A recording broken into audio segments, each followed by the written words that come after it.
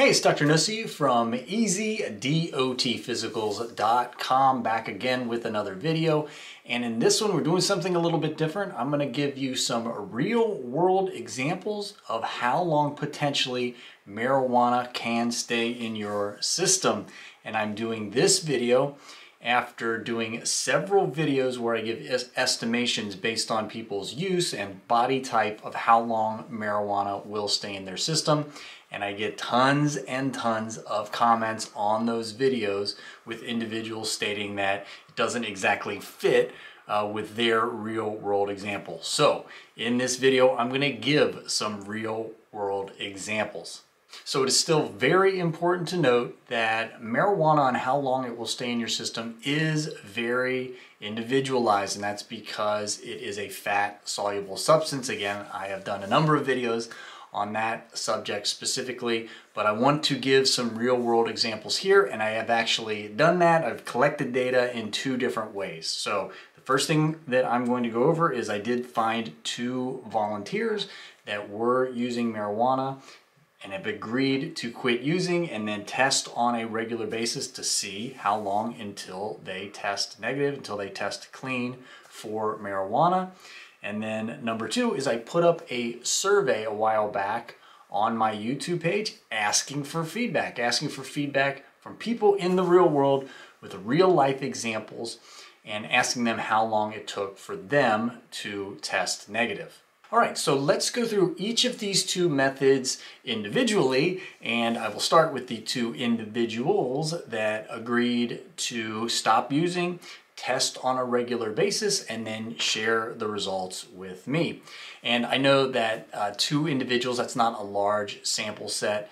Um, it's just with marijuana still being a Schedule 1 substance, it is very difficult to do any kind of legitimate research on it.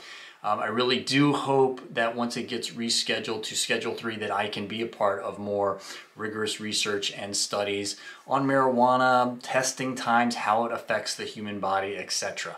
But for now, this is what I've got, the best I could do. I got two individuals to test on a regular basis after quitting use of marijuana.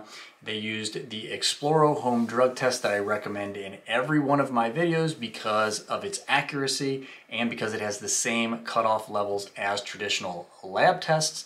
And then they filled out this Excel spreadsheet giving me the results. All right, so again, we have two individuals. The first here is a male. He is six foot three, 230 pounds.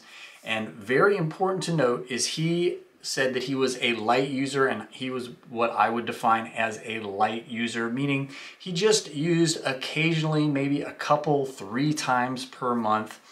And all I asked of him was to stop using and then to test. He didn't do anything special after stopping use except for to test on a regular basis. And then volunteer number two is a female. Now she is five foot two, 155 pounds. And it's important to note that I would consider her to be a super heavy user. So she uses basically daily, sometimes multiple times per day.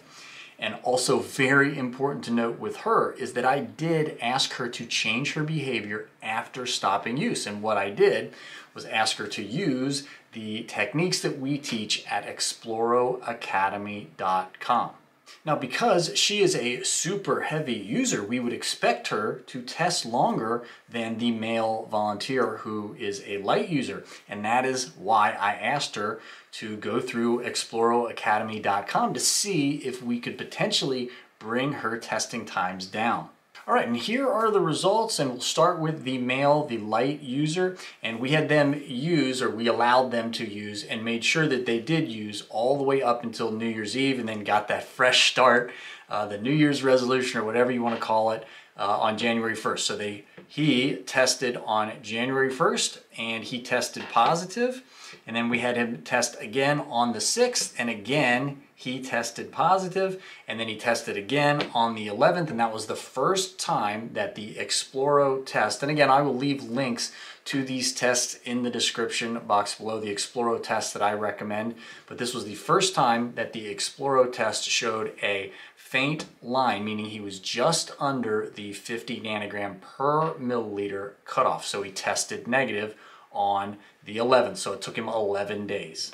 All right, now here's where it gets interesting. The female volunteer. Now remember, she is a super heavy user. She was using daily, multiple times a day, all the way up to January 1st.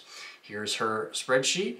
Uh, on the first, she tested positive and was not using. So she was not using from the first on. Now remember, she started going through exploroacademy.com and using the techniques that hopefully will help her to test negative in a shorter period of time. She tested again on the 6th, she tested again positive, meaning on the Exploro home drug test, there was no line in the test field. And then on the 11th, amazingly, to my, really to my astonishment, I thought she would test um, negative in a shorter time period, but I was expecting, you know, a little less than a month. So by day 11, she was testing negative, meaning she got a, a faint pink line in the test field on the Exploro home drug test.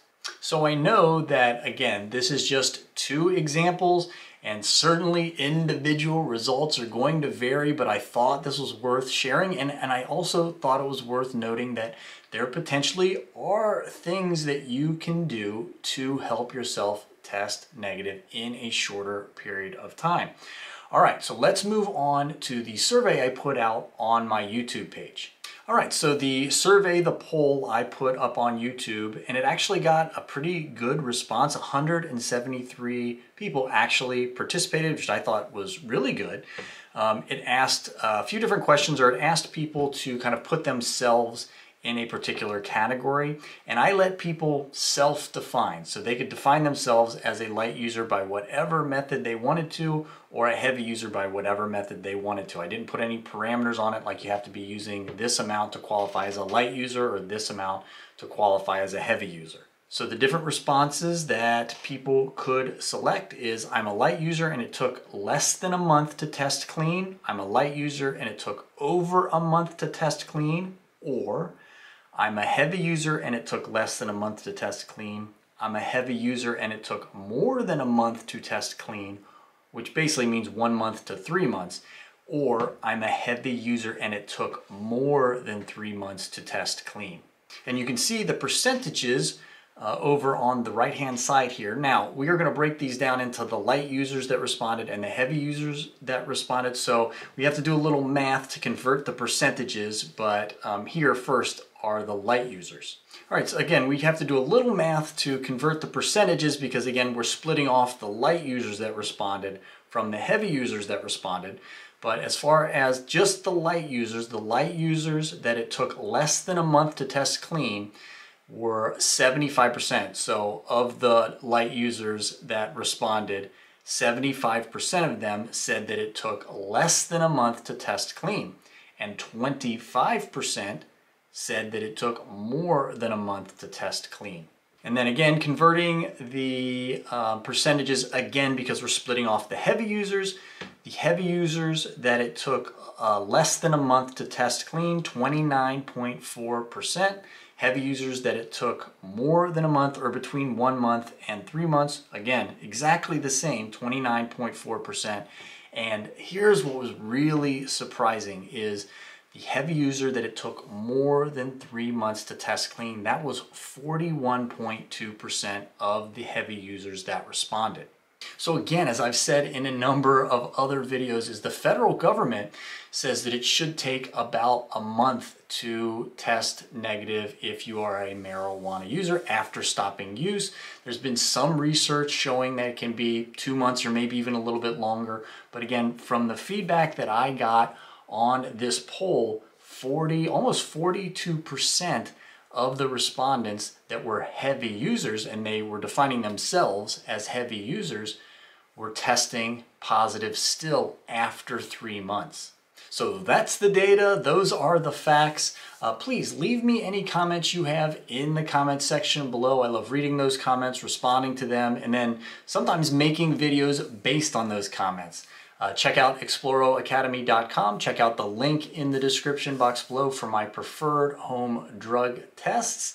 And until next time, everybody, stay safe.